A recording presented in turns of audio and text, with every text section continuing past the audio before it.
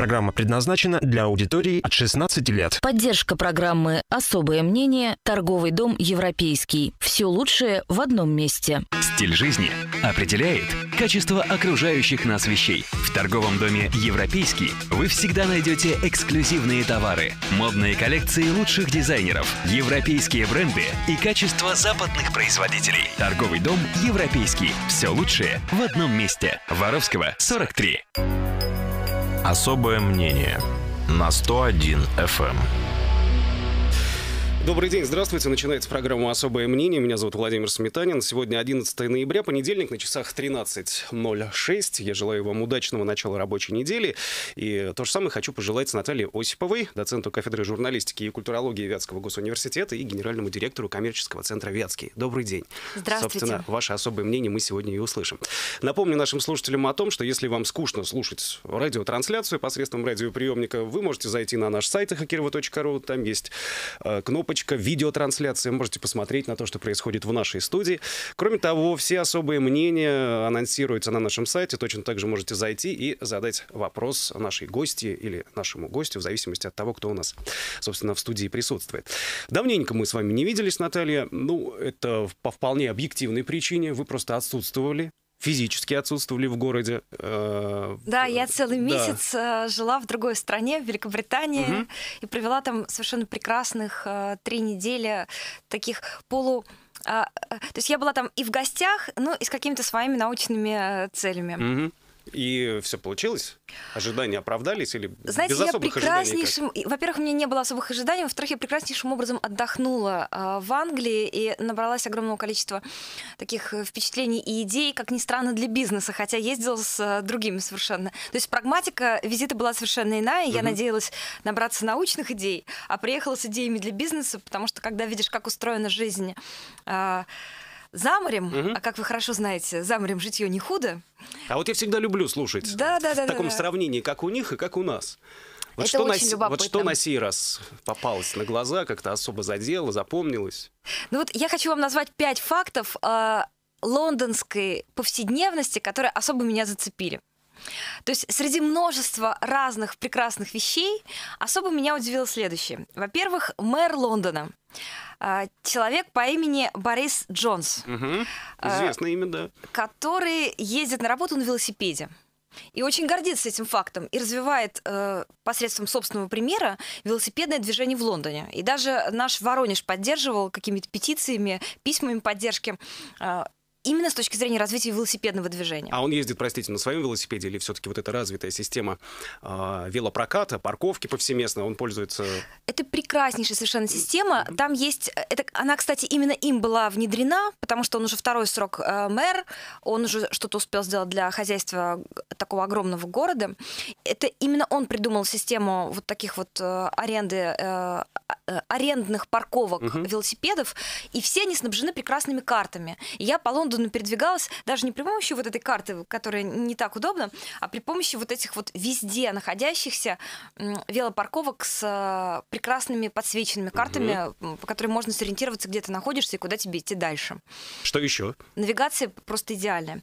Значит, второй факт, который меня совершенно поразил, как раз в октябре а, Хиллари Клинтон вручали какую-то премию в Лондоне, и вот, а, видимо, такая же прекрасная автолюбительница, как я, Хиллари, не очень удачно запарковалась и получила тут же штраф в размере 80 фунтов стерлингов, что в переводе на русские деньги где-то 4,5 тысячи рублей, да. не такой маленький, угу. за неправильную парковку в течение 45 минут. И вот, э, понимаете, эта идея, что закон для всех, это э, такая фишка а, английской жизни. Они этим не просто гордятся, они иногда доводят это до абсурда. То есть считается особым шиком оштрафовать, например, принца Чарльза за неудачную парковку и а, показать, что закон, и, и таким образом, таким примером показать, что закон для всех. Это мне тоже было очень э, и приятно, угу. и э, интересно наблюдать, потому что у нас, конечно, представить, что, например, кого-то из наших чиновников э, оштрафуют. Ну, простите, все-таки вспомни, не так, не так давно случай и, произошел, когда э, губернатор, губернатора. Да, внедорожник губернатора за то, что По сути дела, да, в данном случае вполне себе да, он поступил по... вещи, да. Да, он, он, он как раз поступил очень э, в западной стилистике. Угу. Третий факт, который был очень для меня приятен и интересен, это мультикультурность. Мультикультурность, о которой так много говорят, но которая в ткани городской, в ткани Лондона, она абсолютно ощущается. То есть мы сейчас очень говорим много о национальном вопросе. Мы даже не говорим, мы уже столкнулись с тем, что у нас национальный вопрос э, так остро стоит, что мы должны каким-то образом а, реагировать на него. Так вот, а, в Лондоне а, мультикультурность и идея возможности в городском котле переплавить разные нации в нечто единое, общее, новое, она тоже является своего рода вот таким вот культовым фактом и одновременно фактом повседневности. То есть, например, а, лондонский, э, э, например, английский акцент, английское произношение. Известно, что английский, собственно говоря, английский это сплошные акценты. Э, весь английский язык настолько в разных местах по-разному звучит, что сказать, где он канонический, ну разве что на BBC, вот этот вот стерильный угу. язык. Так вот, стерильный язык BBC — это вовсе не самый лучший язык. То есть мы стараемся в нашей речи ориентироваться на дикторов центрального телевидения, и нам кажется, что вот так вот, или мхатовское такое, знаете, мхатовское произношение с придыханием. То есть нам кажется, это красиво и правильно. Напротив, в Англии очень модно и очень правильно и очень а, уважительно по отношению к своим корням сохранять в своей речи вот этот источник своего акцента. А, Такой колорит национальный, да? Да, да, да, свою идентичность через акцент. Угу. И э, мне рассказывал профессор Оксфордского университета Андрей Зорин, о том, что к ним приехал один профессор, американец, с потрясающим оксфордским э, диалект, вот этим вот оксфордским английским. Специально готовился. Да, то есть он подготовился, он и, и он стал объектом насмешек. Потому что американский профессор с оксфордским акцентом это смешно. А нормально, чтобы американский профессор говорил со своим американским угу. рубленым языком. И вот э, для меня это тоже было так совершенно и, интересно, и, и, и удивительно. Ну, как вы понимаете, я со своим русским акцентом тоже какое-то время немножко комплексовала, что вот э, интонации, Извините, да, вот, да, звуки. Но для Лондона и для Англии в целом это нормально. Точно так же, как нормально поговорить о погоде, которая меняется действительно каждые 15 минут, и зонтик и очки с собой — это обязательные аксессуары, точно так же нормально поговорить об акценте. Откуда ваш акцент? То есть это интерес к личности, откуда вы. Угу. Вот, это... То есть, если переносить на нашу действительность, э, на наш город, абсолютно не нужно пугаться нашего вятского акцента. Да, мне бы очень хотелось защитить вятский диалект, да. который сейчас умирает, который остается только у наших бабушек, который мы теряем. Да, я хочу защитить вятский диалект, он очень красивый, его надо беречь, хранить. Люди, говорите по-вятски. Да. Не выпендривайтесь. Совершенно, совершенно, совершенно точно. А вот можно еще зацепился за, вы сказали, мультикультурность. А что-то есть какой-то стержень, который объединяет представителей разных национальностей, народов? Вот ради чего? Ну, э, во-первых, э, все-таки идея мультикультурности это, это, это как раз идея сплава. Хорош один элемент, но сплав дает нечто новое. Угу. И э, идея мультикультурности – это идея того, что э, китайская культура, русская культура, итальянская культура внутри города, внутри Э, английской культуры придают оттенки, как вот знаете, доп- дополнительные специи. А место, вот этот остров, совсем небольшой остров в Атлантическом океане, mm-hmm. он э, становится той площадкой, которая объединяет и, э, и создает вот этот уникальный колорит э, ну, который, мне кажется, и позволил э, английскому языку так распространиться, потому что внутри английского языка и внутри английского сознания есть вот эта идея открытости. Идея того, что приезжать и быть иммигрантом неплохо. Напротив, в городе есть очень много таких вещей, которые интегрируют приезжающих людей внутрь английской культуры. Это в первую очередь бесплатные э, различные школы и курсы для не только для, мигра, э, для иммигрантов, иммигрантов, но, например, вот я приехала на несколько недель в Лондон, и я э, сходила там на несколько уроков английского языка, совершенно бесплатных. Там учителя будущие учителя английского на нас тренировались, а мы таким образом учили английский. Мне это было очень интересно. Пользу ощутили от этого? Вполне. Угу. То есть там собирается такая довольно пестрая компания э, разнонациональных людей, которые хотят подтянуть свой язык, и э, будущие учителя на нас тренируются. Всем огромная польза от этого дела. Вот. И потом есть такое понимание, что есть Чайна-таун, есть русский Лондон, Мгм. есть итальянское, французское, а, арабское, и, разумеется, огромная индийская часть а, а, вообще английской жизни и особенно лондонской. Поэтому э, ты себя не чувствуешь э, в Лондоне некомфортно, ты себя не чувствуешь в, э, в Лондоне гостем, ты вполне там себе э, свой. Но все равно, несмотря на это, следим за новостями, и периодически там ведь возникают вспышки на межнациональной почве. Происходят какие-то погромы, э, драки. В общем-то, трагедийных ситуаций очень много. Но э, я, я их не наблюдала, я наблюдала обратную сторону. То есть, если есть проблема, то я видела, как они с ней пытаются справиться. И это было мне очень интересно и, Мгм. мне кажется, очень конструктивно.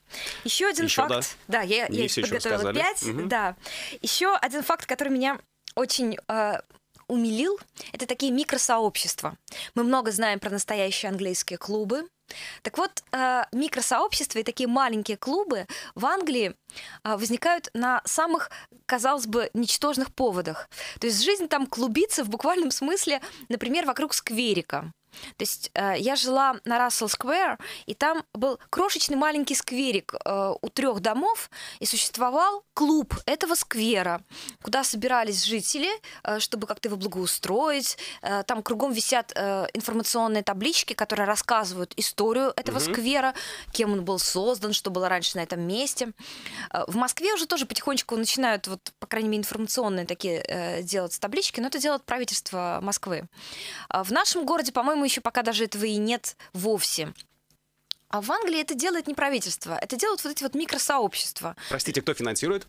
Насколько я, я не знаю, кто финансирует, к сожалению, э, вот эти вот как минимум таблички, поэтому не могу вам сказать.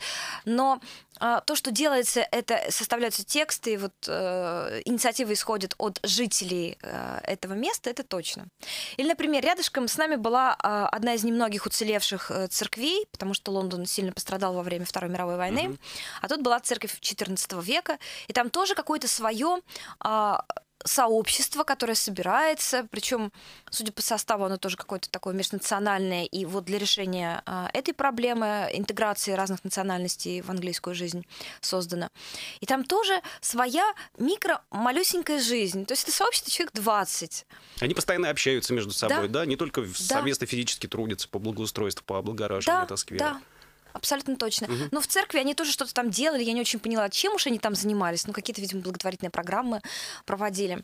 Или была ярмарка, на которую, э, на которой в таких э, уличных палатках вышли все социальные э, группы, институты, э, какие-то э, такие благотворительные организации, которые рассказывали о своей деятельности и что-то предлагали. Например, там купить какие-то маленькие штучки их людьми сделанные. Тоже было очень И приятно. насколько это часто происходит? А Всё. это везде, в том-то и дело. Это повсюду. Это пронизывает вс- всю э, лондонскую жизнь. Это факт повседневности. Это не нечто экстраординарное. Мне такое. просто интересно, как коммуникация осуществляется между людьми. Кто-то один сказал, а давайте соберемся, и все пошли. Или... Я думаю, что со- да, вот это коммуникация между соседями, коммуникация между близкими людьми и э, так называемая горизонтальная коммуникация, не а, включающаяся в определенные иерархии, а выстраивающая горизонтальное общение вне иерархии. Неважно, а, этот сосед э, занимает какое-то положение в обществе или нет, неважно, это мэр или обычный а, э, клерк, а, они одинаково будут ездить на велосипедах и одинаково участвовать а, в в возделывании своего скверика. Поразительно, да. Это очень радостно. Умиляет, да. Да, и последний факт про английскую жизнь, который я еще хотела рассказать, это английские пабы, конечно. Значит, э, мы с вами привыкли думать, что английский паб это такое злачное место, куда по вечерам приходят выпить. Не, честно говоря, ничего не думаю про английские пабы. Ну, я э, имела вот такое примитивное о них представление. Я с удивлением узнала, что, оказывается, английские пабы, особенно в районе Ковергардена, э, таком театральном районе, они являются театральными площадками. То есть в этом пабе есть малюсенькая, причем весь паб это комната немногим больше э, вот той, в которой мы сейчас с вами находимся. Наша студия, да. То есть метров 20. Э, Там стоят столики, и там же маленькая сцена, которая метр полтора-два, на которой выступают актеры. И вот эти актеры, они очень разного происхождения. То есть это люди, которые пытаются отработать какие-то свои идеи и навыки вот на живом и слегка выпившем зрителе. Это отнюдь не профессиональные артисты, да? А это и профессиональные Артисты. потому что Мгм. я узнала, что, оказывается, таким образом, например, прокручивают идеи всех мюзиклов, смотрят на живом зрителе, как он будет на это реагировать. И потом эти мюзиклы, сыгранные и спетые вот в таких вот просто микроскопических а, пабах, а, выносят и выводят на большую сцену. Таким образом, эти пабы становятся такими а, творческими лабораториями. И вот возможность творческой реализации в Лондоне меня, конечно, тоже совершенно подкупила, потому что а, быть чудиком в Лондоне модно. Это даже как-то естественно, это нормально. А в нашем городе людей с чудинкой... Все будут показывать пальцем. Да, у нас их, во-первых, мало. Мгм. Наверное, Витя модный один из немногих персонажей э, кировской жизни, Мгм. которых, например, знаю я. А, во-вторых, у нас это как-то так и не принято. У нас принято быть как все. А у них принято ровно обратное, быть не как все. Ну и все-таки среднестатистический лондонец, он идет в паб за тем, чтобы посмотреть на это представление или за тем, чтобы пропустить, не знаю, кружку другую? ну, разу- рюмку другую, разумеется, да? он идет э, для того, чтобы пообщаться. Мгм. Пообщаться за кружкой еля, пива. Мгм. А, то есть э, э, в Англии жизнь очень публична. Там не так часто... Мы ходим друг к другу в гости, а они ходят с друг другом в пабы. Но рядом с этим они открыты для того, чтобы во время своего такого вот вечернего э, э, пива посмотреть э, какое-то театральное событие. Вот. Мне Интересно. показалось, да, очень, очень любопытно. То есть культура, она прямо идет в народ. То есть это такая альтернативная борьба с алкоголизацией населения. Не отбирая у него кружку пива, а наоборот, с кружкой пива давая ему порцию искусства. Что, естественно, облагораживает нравы. Ну, Пожалуй, генералу Солодовникову нужно подсказать эту идею. Все-таки вот э, это... а, В закрытых закусочных да, открыть Да, это акция по закрытию... театральные кружки. а По закрытию рюмочных, закусочных, все-таки там вот как раз речь идет о таком небольшом пространстве, да, когда все Ровно, да. Локоть есть, к локтю. На самом Да. деле наши закрытые закусочные это как раз вот такие вот пабы. Мгм. Да, Место- давайте там. Место для общения, да. Давайте там сделаем театр. Мне кажется, все будут только выигрыши. Интересное предложение, да. Я напомню, что это особое мнение Натальи Осиповой, генерального директора коммерческого центра «Вятский». Ну а давайте сейчас мы перейдем к вопросам э, из разряда, что называется «А пока вас не было». Тут О, кое- да. кое-что случилось. Давайте поговорим о событии, которое произошло 6 ноября этого года. Состоялась официальная встреча президента Путина и губернатора нашей области Никиты Белых. Рабочая встреча, попросту говоря, э, Никита Юрьевич отчитывался перед президентом, как нам живется, и по большому счету нормально мы живем, по словам Никиты Юрьевича. После этой встречи возникло много вопросов, об- обсуждений. А что же это было такое? И сразу же многие задались вопросом, останется или не останется Никита Юрьевич. Какими вопросами вы задались? Я посмотрела э, и это интервью, и я посмотрела ленту комментариев. Мгм. И что любопытно, ведь никто не воспринял это интервью как вы сказали, отчет о работе. Потому что ничего нового в том, что говорил э, Никита Юрьевич о жизни в Кировской области, или как-либо э, интерпретируемого как его достоинство, как его заслуги в должности губернатора, я вот, например, не нашла. Достаточно обыденно все было, да? Да, темпы строительства, собственно говоря, не заслуга Никиты Юрьевича. И ну, что из того, что было перечислено? э, Поднятие зарплаты бюджетникам тоже, собственно говоря, не его заслуга. То есть все то, что он перечислял, было довольно понятно, ожидаемо. Мгм. Непонятно было, зачем с этим э, он пошел к президенту раз, и зачем это было показано по всем телеканалам два. Можно было просто написать на бумаге, отправить, да? Конечно, да. То есть ничего такого в Кировской области не произошло, ради чего стоило идти к президенту. Поэтому никто не обсуждал содержание э, этой встречи, а все э, обсуждали именно сам факт.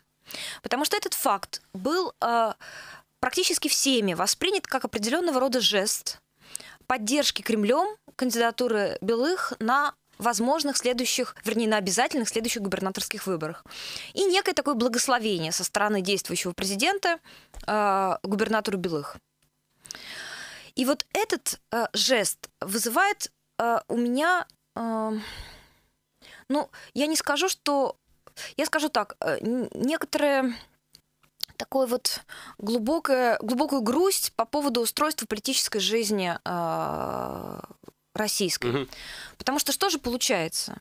Мы с вами пойдем на выборы, но главное э, выборное событие происходит либо до выборов, либо при подтасовке э, бюллетеней во время выборов, но никак не фактом моего голосования.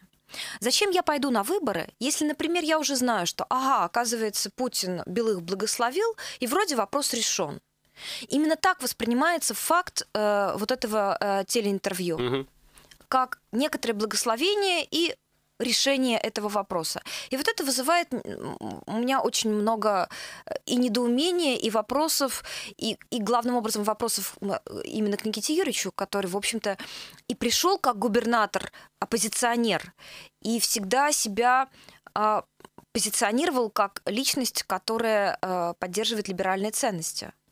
Ну и уж, по крайней мере, честные выборы. Ну и все-таки при всем при этом, вот при всем при этом, при этих размышлениях оставляете вы какую-то толику э, неуверенности?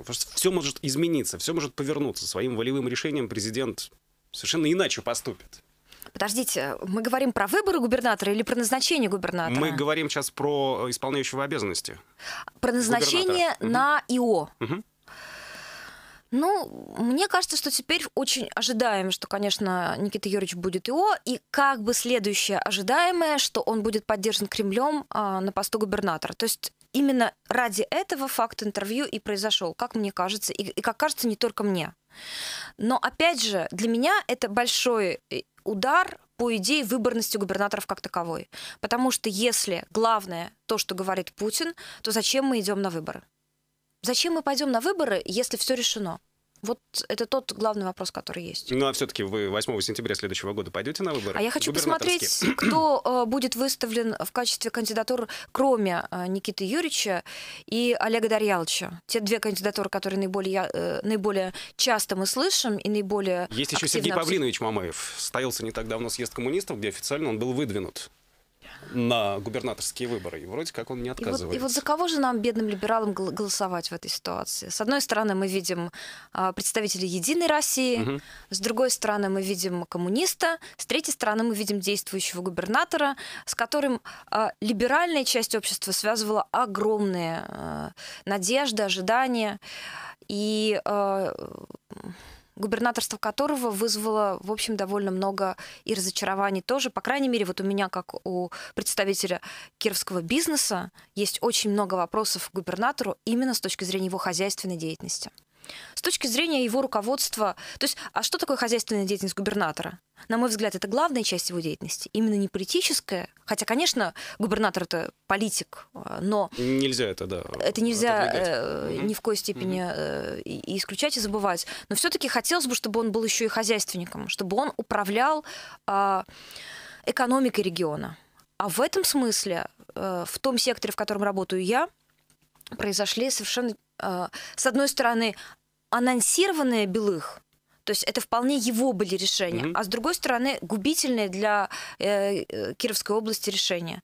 Были открыты двери федеральным сетям, мы получили магниты пятерочку, и мы получили уход с рынка а, кировских производителей и кировских а, а, э, кировских поставщиков высокого, э, высоких а, качественных продуктов. Безусловно, да, это нельзя не заметить. Но про кировский бизнес и про судьбу некоторых кировских бизнесменов мы еще поговорим после небольшого перерыва. Пару минут, и мы вернемся. Продолжится особое мнение Натальи Осиповой. Программа предназначена для аудитории от 16 лет. Поддержка программы «Особое мнение» торговый дом «Европейский». Все лучшее в одном месте. Особое мнение на 101 FM. Продолжается эфир на 101.0. Меня зовут Владимир Сметанин и гость студии Наталья Осипова, генеральный директор коммерческого центра «Вятский», доцент кафедры журналистики и культурологии Вятского госуниверситета. Ее особое мнение сегодня мы слушаем. И сейчас переходим к еще одной теме.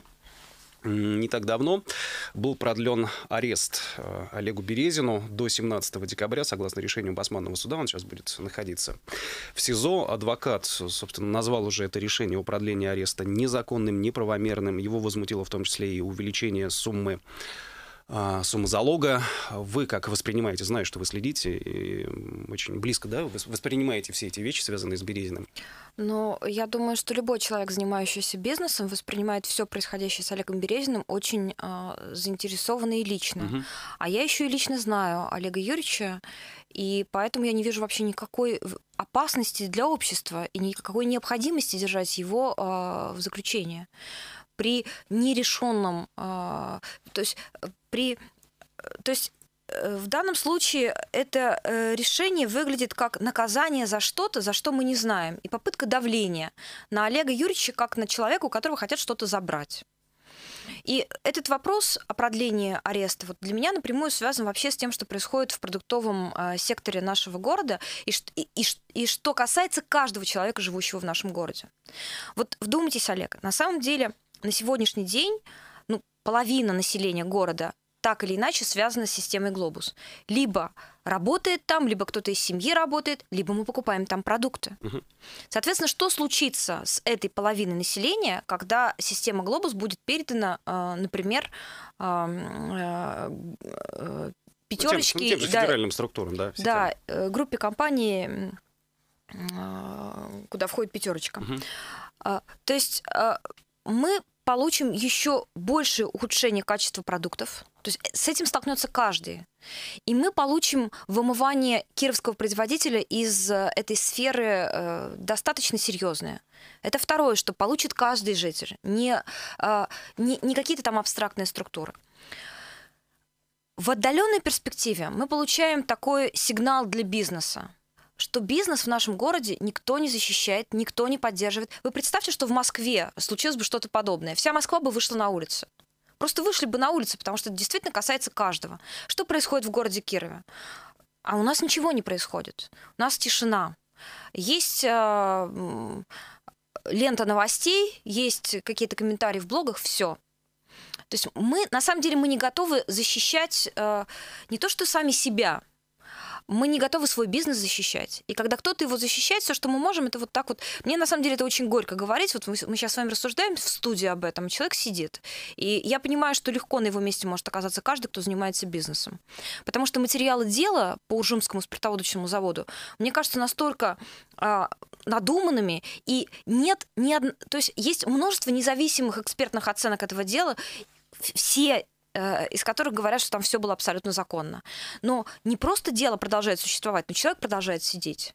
И все это похоже именно на давление с целью отобрать бизнес. Вот как раз-таки ваши слова подтвердили депутаты Заксобрания. Они недавно да. Да, провели вот это расследование деятельности по поводу Уржумского СВЗ. И там решение однозначное. Там все, в, в общем-то, законно там было. И... Это был аукцион да. с проведенной оценкой. А, если говорить о том, что пакет стоил дешевле, чем предыдущий замыкающий контрольный пакет, то любой, кто занимается бизнесом или даже немножко знает математику, понимает, что акции, замыкающие контрольный пакет, стоят действительно дороже, чем те, которые э, не э, играют э, на контрольный пакет. Угу. Поэтому как в этой ситуации можно было посадить человека, я не очень понимаю.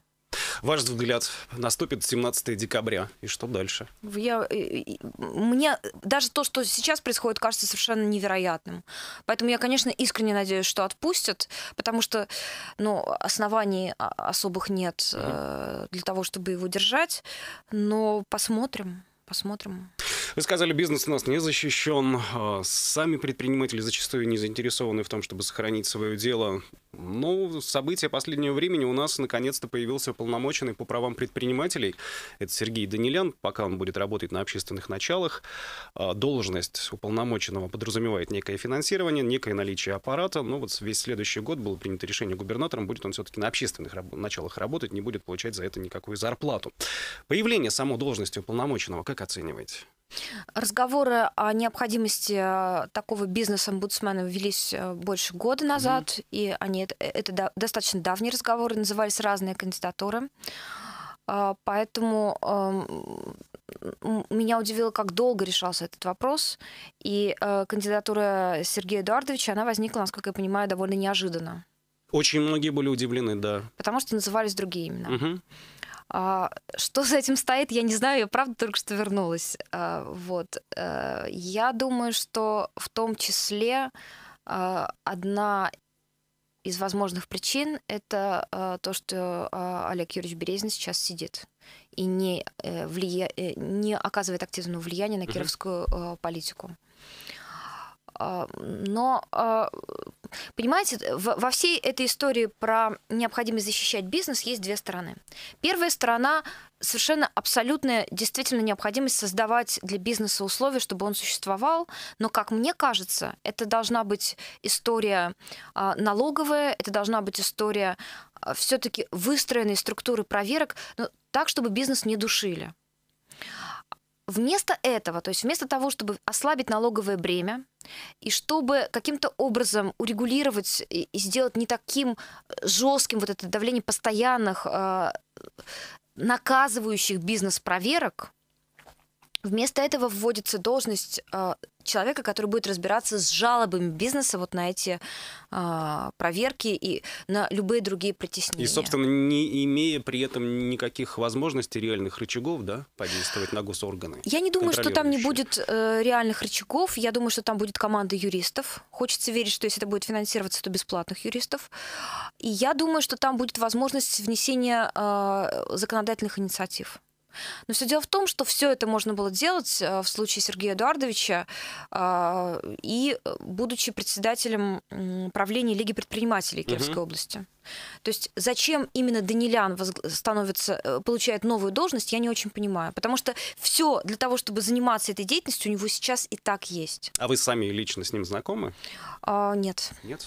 Хотел задать вопрос по поводу деловых качеств, личных. Нет, или к сожалению, нет. Возможно, наслышаны.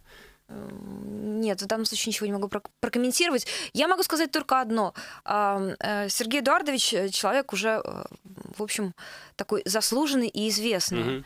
А мне бы казалось, что нам нужно приводить в региональную, по крайней мере, политику людей молодых, инициативных, у которых есть огонь в глазах и которые готовы много работать именно в этом. То есть я я, как человек, занимающийся бизнесом, в этой, э, на этом посту хотела бы видеть молодого сильного юриста. Вот мне кажется, чтобы толку было бы больше. Но молодым, наверное, в этой сфере наверняка не обойтись без поддержки каких-то таких весомых личностей, которые уже, что называется, собаку съели. Трудно, а, наверное, эм... самостоятельно. У нас телефон зазвонил, ну ничего. Да, я сейчас телефон отключу, извините, да. я это не сделала до эфира. Остается, да, у нас не так много времени до конца программы «Особое мнение», есть еще несколько тем. Да, и, и все-таки вопрос, что называется, вот в лоб. Изменится что-то у нас с появлением уполномоченного по правам предпринимателя. Давайте посмотрим и подождем. Угу. Uh, у меня нет радужных ожиданий, но если я ошибусь, я буду очень рада, потому что на самом деле uh, та ситуация, которая в кировском бизнесе сейчас uh, случилась, несмотря на всю радужную картину, которую наш губернатор рассказывал нашему президенту, угу. картина вовсе не так радужна, и закрываются предприятия, и вылетают с рынка организации и целые сегменты бизнеса. Поэтому бизнес нужно защищать и поддерживать. Другое дело, что мне кажется, другими путями э, не теми, э, вот не, не в логике э, жалоб, а в логике создания инвестиционного климата благоприятного для региона. Конкретных действий по поддержке, да? Да, абсолютно. Угу. Причем очень простых, они не какие-то там, это, это, это не что-то неизвестное, это очень все просто, понятно, и это понятно. Э, и это, к сожалению, должно быть решено на федеральном уровне, mm-hmm. потому что налоговые вещи, конечно, решаются на федеральном mm-hmm. уровне. Давайте в ближайшие минуты вот еще о чем поговорим. Сегодня 11 ноября, и ровно неделя с той поры, как наш город покинул художественный руководитель, теперь уже бывший художественный руководитель театра на Спасской Борис Павлович. Арт-обстрел настоящий он устроил перед своим отбытием. Масса спектаклей было, вечеринка состоялась «Goodbye Павлович», аукцион вещей распродажи да, Бориса Дмитриевича была устроена. С грустью все это вы наблюдали? Читали об этом, по крайней мере. Да, в момент вечеринки я была не в Кирове, а две mm-hmm. последние премьеры я видела, и это обе премьеры довольно знаковые полет над гнездом кукушки, который смотрится, а, в общем, с... То есть это реалии американской, э, американские реалии 70-х, 80-х, которые сегодня э, смотрятся в России как э, свежая газета. Угу и э, кукольный дом э, Ипсона, э, где, на мой взгляд, абсолютно э, неправильно и э, странно э, Борис поменял финал. Финал, э, в котором у Ипсона жена и мать троих детей а, уходит из дома, оставляя мужа, чтобы найти себя. А, в случае постановки Павловича этот финал а, выглядит так. Муж засыпает, а она спускается по стене в такой в таком полузабытии истерики, повторяя «я ухожу от тебя, я ухожу от тебя, я ухожу от тебя», то есть не уходит. Мгм. Вот этот текст «я ухожу, я ухожу, я ухожу, не уходя», мне кажется, что это был такой метатекст Павловича, который он адресовал нашему городу. Потому что то, как э, здесь его любили, э, как здесь к нему относились и как здесь ему помогали, мне кажется, что такую э, атмосферу и такую поддержку ему будет трудно найти где-либо еще, и уж тем более э, в его родном Петербурге. Мгм. С другой стороны, э, вся эта ситуация мне не кажется совершенно трагичной, потому что э, нашему театру на Спасской очень везло на талантливых э, людей, возглавлявших этот театр, художественных руководителей. И я не вижу оснований, почему бы следующий художественный руководитель не привнес новую интересную волну, новую режиссуру, новый подход и новое видение. Э, Насколько мне известно, сейчас будет происходить конкурс на замещение вакантной Да, должности. так происходит, да. И в какой форме он будет происходить, это тоже очень важно. Одна из возможных форм — это такой фестиваль. А, Мне об этом рассказали в центре Мирхольда в Москве. Там есть школа театрального лидера, готовящая современных театральных лидеров, которые Мгм. делают новый театр, новый современный театр. Это менеджеры в Это- театре. Это, это, как правило, либо директора, либо худруки, Мгм. которые учатся также и технологиям менеджмента, и маркетинга. То есть не только тому, как ставить спектакли, это они умеют, но и тому, как раскручивать и продавать э, спектакли, и как выстраивать вот бизнес в театре, что, конечно, очень важно. Мгм. Так вот, а, мне рассказали, что существует такая форма, как театральный фестиваль, на который приглашается ну, четыре молодых режиссера, и им предлагается поставить внутри театра э, четыре своих спектакля. Затем делается фестиваль, э, зрители смотрят новые спектакли, поставленные новыми людьми. И э, актеры, и персонал театра, и цеха э, в течение этого месяца тоже понимают, нужен им такой человек в их команде или нет. Вот мне кажется, это был бы очень позитивный путь избрания нового художественного А руководителя месяца театра доста- «Нас». достаточно для- для этой процедуры? А, Насколько мне известно, да. Насколько мне известно, да. Я просто не так знаком с театром, не знаю, что там происходит за кулисами, насколько быстро вот находятся эти взаимодействия между сотрудниками. А, Борис э, Павлович как-то говорил, что он все-таки будет э, предлагать, у него есть такая возможность, да, каких-то вот Ну, лю- вот людей он, на тем свой не менее, этого не но он, сделал. но он те- темнил, да, до последнего времени. Мне кажется, что да, что э, Борис как раз мог бы провести этот фестиваль э, со своим участием и помочь театру, но он этого не сделал. Это жаль. Но я не вижу, почему бы театру не сделать это и без Бориса. Мгм. Ну, я напомню, что в эфире нашей радиостанции будет по-прежнему выходить программа Бориса Павловича, дай почитать. М, Есть договоренность, что он будет записывать, отправлять нам звук, и передача будет выходить в эфир. Отлично. Вот. Заканчивается, увы, наше время. Напомню, что гостья студии Наталья Осипова, генеральный директор коммерческого центра «Вятский», доцент кафедры журналистики и культурологии Вятского госуниверситета. Спасибо большое вам. Спасибо Удачи, да. И вам. И всем нам хорошей погоды. зимы хочется уже. Зимы Нет? ждала, ждала природа. Снег выпал только в декабре. Я думаю, что Да, вот такими замечательными будет строчками, да. по-пушкински. Да, заканчиваем программу. Спасибо большое. До свидания. Всего доброго. Особое мнение на 101 FM.